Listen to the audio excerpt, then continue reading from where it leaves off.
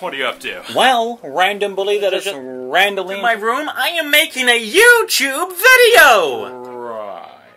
You're doing a YouTube video. Uh, those things that nerds with no friends, no job, and no future plan to do for the rest of their lives. Is that is that right?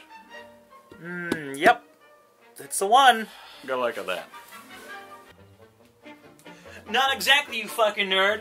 With YouTube, yourself can make original and amazing content for the likes of the eyes of millions of people to see. What's that? You don't have money, equipment, or any talent whatsoever?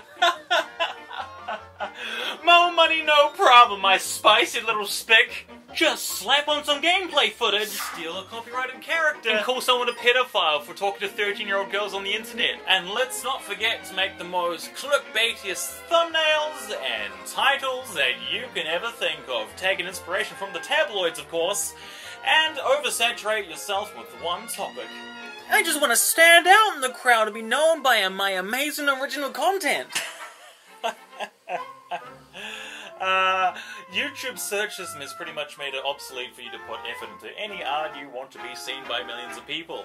That's unless he puts it on a What the fuck did I just watch compilation fail edition, in which will get a thousand times more views than your original content. So what's the point of trying, right? Unless you have friends in high places that'll pick you up when you need that help. Another way to become buddy-buddy with YouTube's fucked up system is to make content for kids. This can vary from Five Nights at Freddy's, Minecraft, and channels. Make sure to use everyone's favorite Disney characters and everyone's favorite emojis to keep those brain dead little shits to wait and watch through the ads about Netflix series that contain rape and violence. Remember, the key to YouTube is be the most profitable video out there. The more ads you put on the video, the more YouTube's gonna push you in front of the line of everyone else. YouTube and morals go as well together as new porn, porn, and feces. At first you think it's fucked up, but with enough practice and enough effort, it's still messed up to think that your morality will stand on this platform. You see, with YouTube comes great manipulation,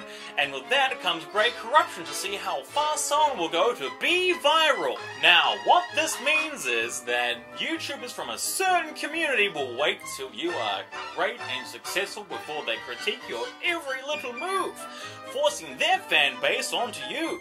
YouTube has a section on every video called the comment section. Now, this is where you get to comment on the video and maybe give some solid feedback or maybe just a review on the actual video. But in reality, it's a hellhole. Do not go there. Do not attempt to look at it. Don't type it. Don't give anything. Don't. It's a no-no place. It's a no. Don't do it. And you see this magnificent red button here followed by the large number. Now, some people use this number to make their points more valid, in which you just look like a pretentious cunt. This place seems like a hellhole. Why does anyone want to do this anymore? Money on my motherfucking mind. Cut five haircuts at the same time. Uh, well, once in a while, you'll come across a treasure. A diamond in the rough, if you will. Now, these people, as artists, they make valid points and mind bending pieces of amazement. Things that made YouTube so overpopulated like it is today. Things that mainstream media wish they could begin to understand how one person can do a job of 50. To this one population, you'll see that they just enjoy doing this and do their best to outdo themselves with every and each video they produce, be it for a job or not. You yourself have the ability to make this happen if you so dream it to. With enough, you'll finally be recognized by your amazing talents, and you can easily just be seen by the greater minds and work alongside with them and grow as a content creator. So why not just go out there and make us all proud, son? Go forth and fly. Make what you want to make.